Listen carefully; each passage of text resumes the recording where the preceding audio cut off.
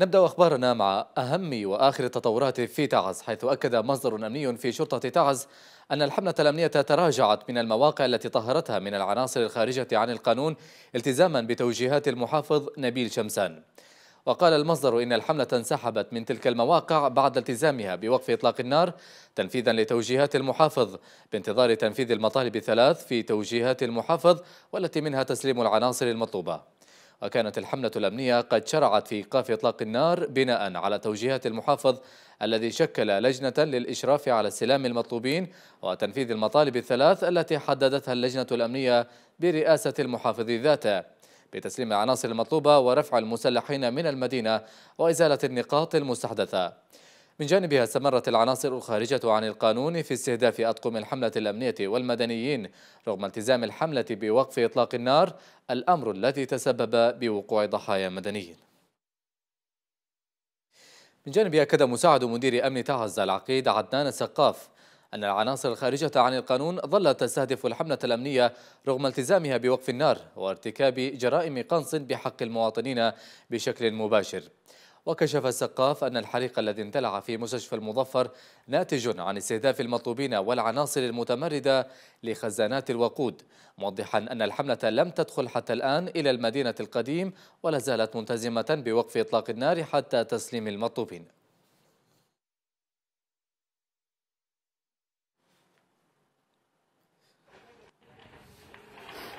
يا الله.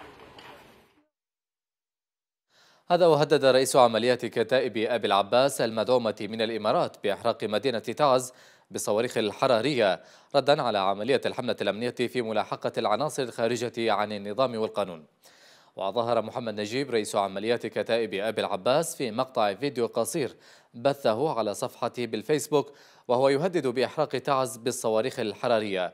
هذا وقد كانت الإمارات خلال السنتين الماضيتين قد دعمت جماعة أبي العباس المصنف في قوائم الإرهاب بأسلحة خاصة خارج إطار الشرعية هذا الصواريخ الصواريخ كلهن اقسم بالله لا احرق تعز كله والله لا احرق تعز كله قالوا ما راضين على اعراضنا وراضين على بيوتنا خلاص والله لا ندافع على نفسنا ونحن على حق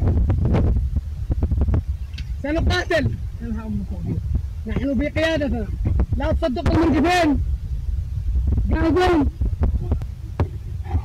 هاي وضعت مباشرة والله لا تفضحهم لا خلي. والله لا تفضحهم اللي راضين علينا.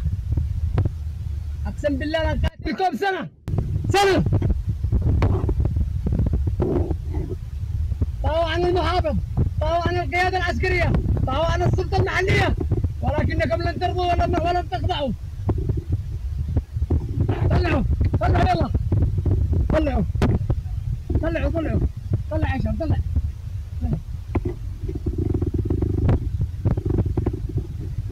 كما وجه رئيس عمليات أبي العباس محمد نجيب الذي ظهر في الفيديو قبل قليل بنهب محلات وبقالات المواطنين في أحياء المدينة القديمة وسط مدينة تعز أظهر مقطع فيديو محمد نجيب وهو يطلب من عناصره كسر أبواب المحلات التجارية ونهب محتوياتها إحنا من ابو السعوديه إحنا الذين نشتري اطلعوا شو اللي شو قاتلوا قاتلوا قرعوا المخازن كلنا يلا.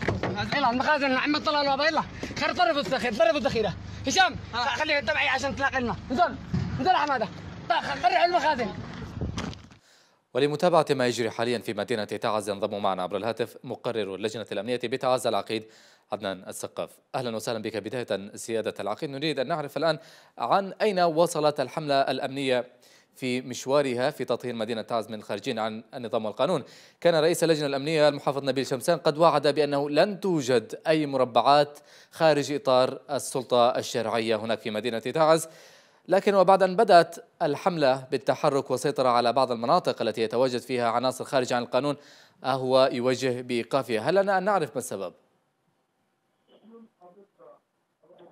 طبعا الحمله الامنيه هي في عملها وتاتي مهامها اتجهت ليس إلى المدينة القديمة. هناك مجموعة من المطلوبين امنيا في قضايا جنائيه وقضايا اغتيال.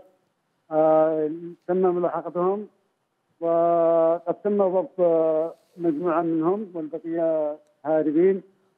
الآن المدينة القديمة الوقت تحت السيطرة. آه، صدرت الآن تعليمات من محافظ المحافظة رئيس الأمنية على أن تتولى تأمين المدينة القديم. نعم. آه الشرطة العسكرية والأمن العام.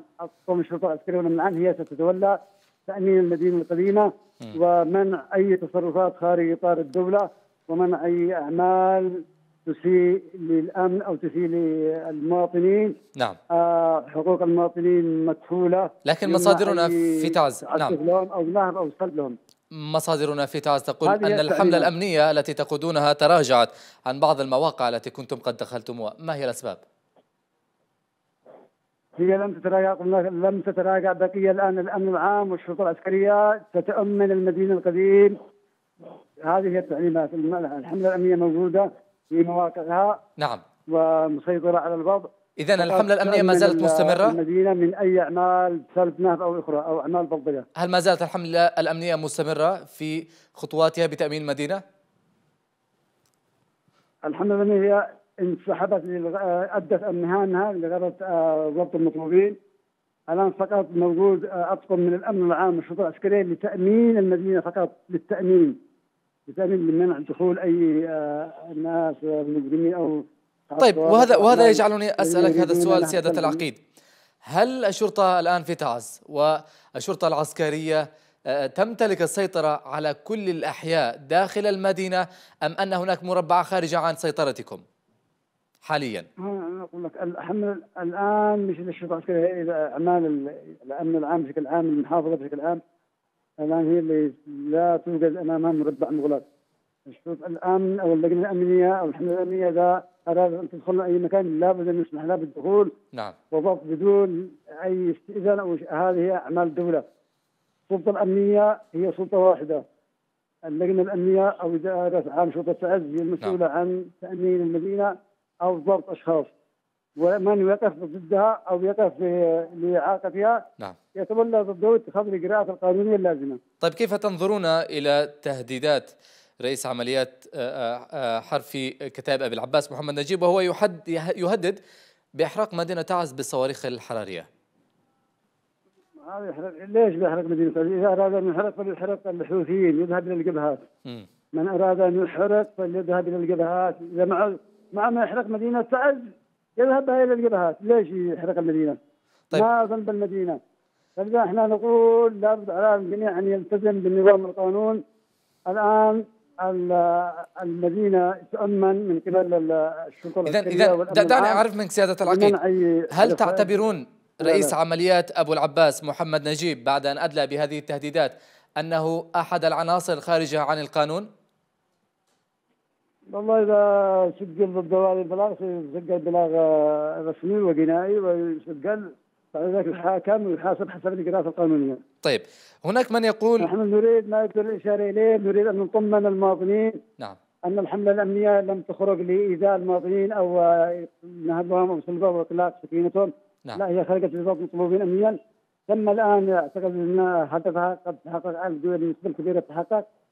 الآن هي تؤمن المدينة وتطمن المواطن تطمن المواطنين لأن عليهم أن يتحركوا بكل حرية.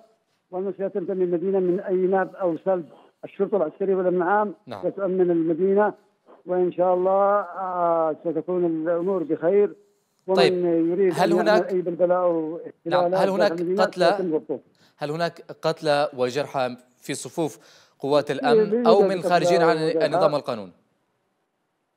يوجد في مجموعة من القتلى الخارجين عن نظام القانون موجودة هل يمكن أن تخبرنا عن الإحصائية؟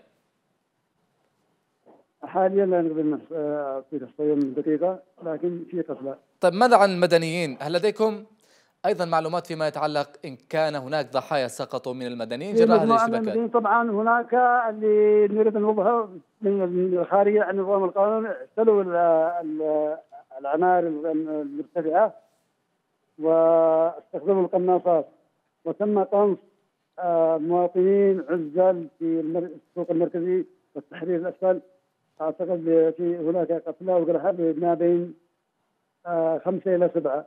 نعم. طيب كيف تنظرون إلى النقطة التي استحدثت أيضا في طريق آه، عدن تعز من قبل مجاميع تابعة لأبي العباس؟ ويقول البعض بأنها محاولة لتضييق الخناق على مدينة تعز هل الحملة الأمنية قادرة فعلا على الخروج من هذه الحالة التي تعيشها مدينة تعز وتحقق أهدافها التي أعلنت عنها؟ الحملة الأمنية قادرة على الخروج بتعاون جهود ابنائها من القوات المسلحة والأمن. هنا إذا كانت النقطة الموجودة في البيريز تحاول أن تمنع الدخول المواطنين تعمل ضغط لكن في الأخير آه، الدولة ستفرض آه، هيبتها وكلمتها وهي الكلمة الفصل لها. ولن نسمح بأي اختلالات أمنية تهدد أمن المواطنين. وكما صرح الأخ المحاور المحاورة أننا سنضرب بيد من حديد ونقف ضد كل من يحاول زعزعة الأمن داخل المحافظة. طيب هناك معلومات أيضا بأن العميد منصور الأكحلي مدير الشرطة كان قد تعرض لمحاولة اغتيال في الساعات الماضية. هل معنى ذلك أن الخطر ما زال موجودا في مدينة تعز؟ وهناك معلومات تقول أنه آه، حتى بعد أوامر إيقاف الحملة ما زالت هناك آه، اشتباكات آه، من خلال هذه العناصر بإطلاق الرصاص على جنود الأمنية الأمن. تعليمات محافظة هي متوقفة متوقفة. كما قلنا لك اللي موجود الآن لتأمين المدينة القديمة فقط للتأمين. وتعرض الأخ مدير عام شرطة تعز للاغتيال. هناك كانت محاولة لاغتياله في منطقة باب الكبير أثناء طلبه للحضور مع اللجنة المشكلة. في مدرسة المجمع آل سعيد وتعرض لإطلاق رصاص والحمد لله نجا من هذه المحاوله. نعم. اذا شكرا لك سيادة العقيد عدنان السقاف مقرر اللجنة الأمنية بتعز.